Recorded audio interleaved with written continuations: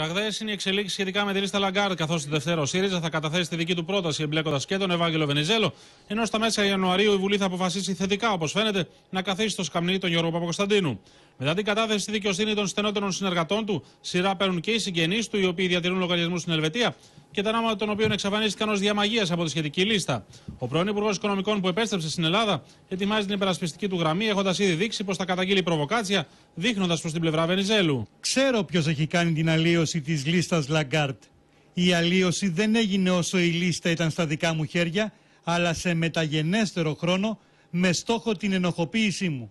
Αίσθηση, πάντως, έχει προκαλέσει το γεγονός ότι μέχρι τώρα για το θέμα έχει τοποθετηθεί μόνο η μία εξαδέρφη του κυρίου Παπακωνσταντίνου, η Ελένη, η οποία έχει διαμηνύσει πως ο λογαριασμός της στο εξωτερικό είναι καθ' όλα νόμιμος. Η άλλη εξαδέρφη, η Μαρίνα, έχει κρατήσει το στόμα της κλειστό την ώρα που δημοσιεύονται του Κυριακάτικου τύπου, αποκαλύπτουν την εμπλοκή του συζύγου της Ανδρέα Ρωσόνης σε εξοπλιστικά προγράμματα εκατοντάδων εκατομμυρίων ευρώ.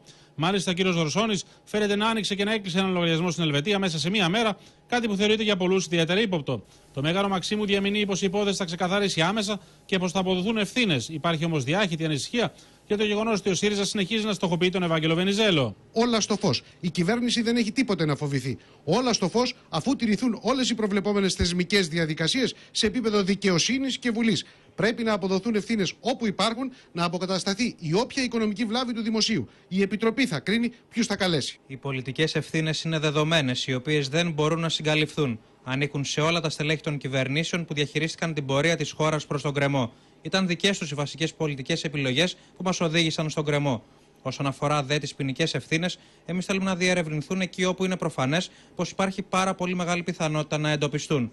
Γι' αυτό και η συγκεκριμένη περίπτωση της λίστας Λαγκάρτ ζητήσαμε αρχικά η προκαταρκτική διερεύνηση να περιλαμβάνει και τους δύο διατελέσαντες υπουργούς οικονομικών και στη συνέχεια, ανάλογα με την πορεία της διερεύνησης, αν υπάρξει ανάγκη για επέκταση της έρευνας, θα το προτείνουμε. Σε ό,τι αφορά την υπόθεση λίστα Λαγκάρτ, γιατί στοχοποιεί πρόσωπα και εσάς στοχοποιεί και όλους τους υπουργούς οικονομικών. Δεν έχω ασχοληθεί με το θέμα.